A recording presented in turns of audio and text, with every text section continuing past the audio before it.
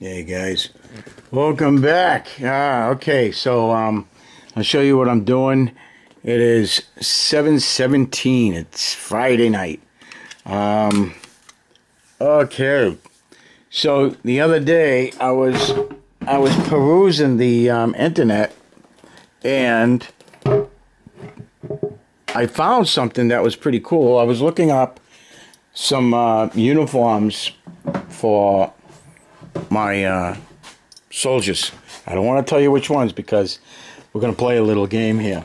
Um, what I'm working on right now is this little young lady right here. I'm working on that spectator and the little dweebs here, whatever they are. So I'm working on those guys and I'm working on this beholder and I'm working on that young lady over there. Uh, I was working on my Napoleonics, and that's what I was doing at the time.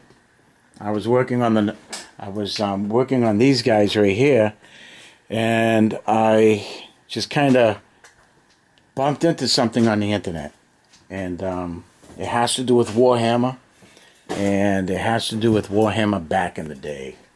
Um, there's a lot of cool stuff that I missed out on when I was in the service. And uh, I bet you guys across the pond know this. So what I want to do is this. Um, I'm going to put together a surprise war game package, a box of stuff. And it's going to go to the first person who remarks in the comments section of what I'm talking about. This is going to be a, an old Warhammer supplement. So what you got to do is you got to get the title of the supplement correct. All, all you need is the title of the supplement. But it has to be correct. The first person that gets the correct title of this supplement and puts it in the comment below will win.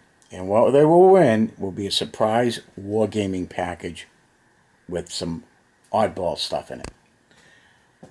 So, let's play this little game. So, I'm going to give you a clue because I printed out the map from the internet and I glued it to a piece of plywood and I hodgepodged it so it looks pretty sharp. Now, I had to send away for this thing. I bought it. It was a, it was a splurge buy. It was a hundred bucks. I'm not going to get it for about maybe four or five weeks, maybe longer because it's coming from England. Um, that's why I say our, boys, our boys and uh, girls in England are going to have a better chance than uh, our American guys and gals. So let's go. So there's the army of the orcs right there. Um, I just finished him today. I started him last night, and uh, that's the hill giant. So I finished him, and I've got I had to repair all these broken uh, Warhammer Orcs, uh, fantasy Orcs that I had. So I I'm not going to go out and buy a bunch of Orcs. I have a box over here, right there, of some Black Orcs, right there. So I've got ten Black Orcs there. I've got these gnolls, these Frostgrave gnolls that have been sitting in my shelf for God knows how long. So I'm going to use them to supplement the Orc Army. And I've got these little extra uh, guys here from, from Hero Quest that I'm going to use with the Orcs as well. Now I don't have an Orc on a Wyvern, so I'm going to use this Chaos Lord. I'll paint him up as the commander of the Orc Army. Now, we stroll on over here. All this yes will be in there. So that's going to be the towns. I'm also got the um, the cardboard houses right there that are going to go into that and those fences and stuff. Um, I might I might end up using those girls who are doing the farming. Uh, yeah, here's the elves. So this is going to be the elf unit right there. I got to paint those little guys up. We've got some archers and we've got some spearmen. So those are the those are the elves. And then as we come around, we've got the dwarfs. So we, we do have the dwarfs here, so they're gonna be they're gonna be in that show. And then as far as the humans go, we got a Roman Legion group. So we have a, a, row of five.